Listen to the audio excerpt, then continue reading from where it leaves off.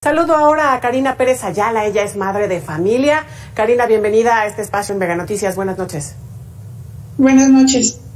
Oye, Karina, cuéntanos, bueno, a ver, eh, eh, tu niño va a una escuela de dónde, de qué municipio o de qué alcaldía aquí en Ciudad de México o Estado de México y qué has determinado, ¿lo vas a llevar el lunes o va a seguir desde casa?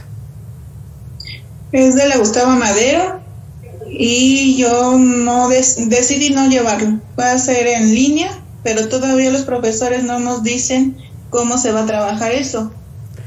Ya, ¿en qué grado está tu pequeñito, pequeñita? Entró a primero de primaria y tengo otro que entró a cuarto de primaria. Y bueno, ¿cómo fue que tomaste esta determinación de de plano no llevarlo? Por todo lo que está, que todavía tenemos los altos contagios, este, por personas familiares que nos han comentado que, este, que hay niños que se siguen contagiando y que este y no bajan los contagios, no estamos todavía preparados, pienso yo, para regresar a, clases.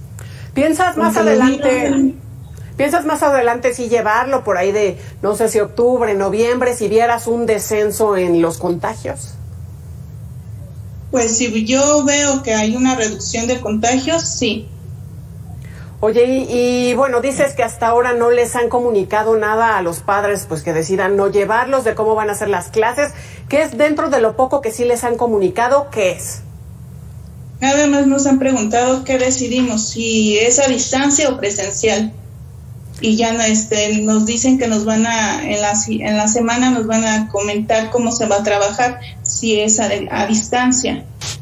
Oye, ¿cuáles son algunos de tus preocupaciones? Bueno, si bien eh, hay una seguridad en que tus niños estén desde casa, sin embargo, a lo mejor hay preocupaciones en que se adquieran o no los conocimientos. No sé qué has pensado al respecto. Pues sí, pienso que no van a ser los mismos conocimientos que uno como padre tiene que estar al pendiente de ellos, que como este, las, los profesores, ¿no? Que ya tienen la experiencia para enseñarles a ellos y saben cómo este, explicarle las cosas. Vaya, sí, representa pues que sea un poco más lejano el conocimiento. Vaya, no es la misma cercanía estar en el mismo salón, preguntarle a la maestra directamente, ¿no? Que desde casa, no sé si lo, si lo percibas igual. Sí, es, sí, exactamente. No va a ser lo mismo que, que si tienen alguna duda, se la resuelva en el momento la maestra. Ya, porque bueno, es, es una escuela pública, es eh, escuela de tiempo completo, escuela de tiempo normal, ¿qué tipo de escuela es? Normal es este pública. Ya, y bueno, con tu hijo, el mayor, eh, ¿cómo lo ha estado llevando? ¿Cómo, ¿Cómo finalizó el ciclo escolar anterior? ¿Tú qué, qué pudiste percibir?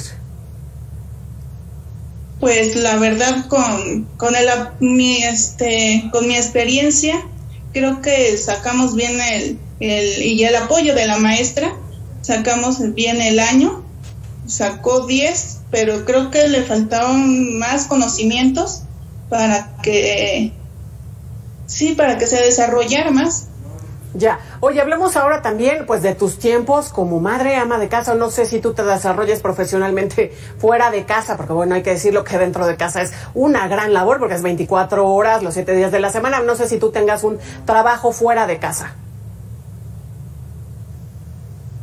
No tuve, tuve que este dejar de trabajar por lo de la pandemia, pero este sí, como soy cirujano dentista, entonces tengo por cita. Entonces cuando tengo citas, pues entonces tengo que dejar ay, perdón.